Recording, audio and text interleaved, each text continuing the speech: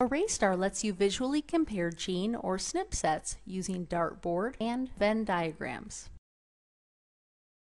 In this example, I've already created sets for non-synonymous SNPs from each of three human ethnic groups, European, Asian, and African.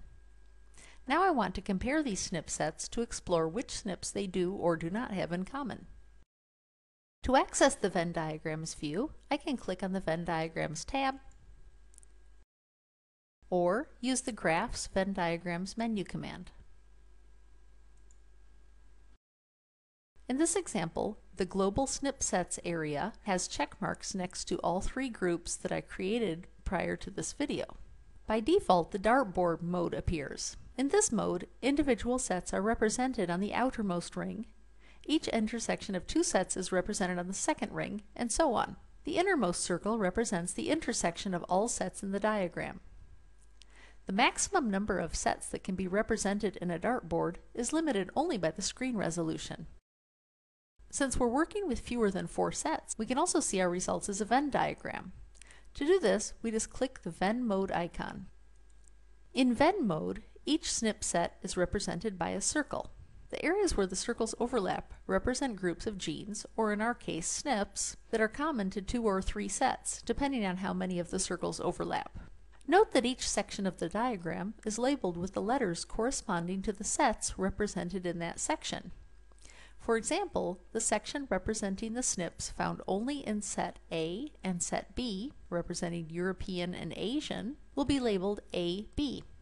Looking above the display, a toolbar provides tools for performing tasks such as printing, copying, or changing the color display. There are several ways to get information about the SNPs in each section of the Venn diagram. To see the number of genes associated with each set, we can click on the Active Sets tab. To view details about a particular section, hover over it with the mouse. Details are displayed in the Info pane on the right. To make a selection, click on any section of interest. After making a selection, the info pane will show what has been selected and provide action links. In this example, I'll select the non-synonymous SNPs found only in the African group, then save them as a SNP set.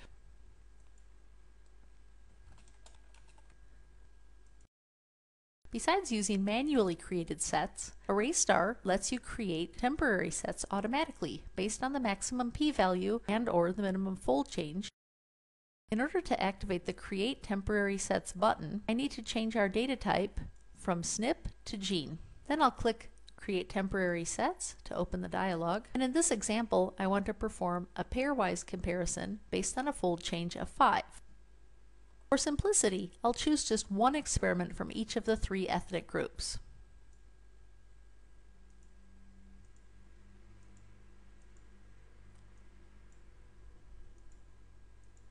Finally, I'll click Create Sets to generate the temporary sets. Next, I'll check the Fold Change box to display results in this view. I'm now going to click once on the center of the diagram to select the area in which all three groups overlap. As you can see from the info pane, ArrayStar has located 57 genes in which there is at least a five-fold difference between any two ethnic groups. From here, I can perform actions such as hierarchical or k-means clustering of the selected genes, or view the table of the selected genes, which I'm going to do next.